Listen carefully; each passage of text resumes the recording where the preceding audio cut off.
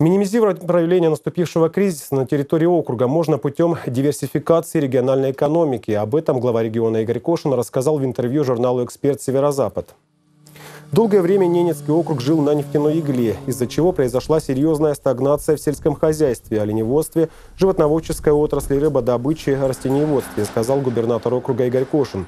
Поэтому на ближайшие годы руководство региона поставило перед собой четкую задачу путем развития производства закрыть 20% рынка собственными товарами. Речь идет как о развитии уже существующих отраслей – оленеводства, животноводства, добычи водных биоресурсов, так и о создании новых – по разведению домашней птицы, выращиванию овощных культур, производство на территории региона отдельных видов строительных материалов. Эти мероприятия будут осуществляться в рамках государственно-частного партнерства.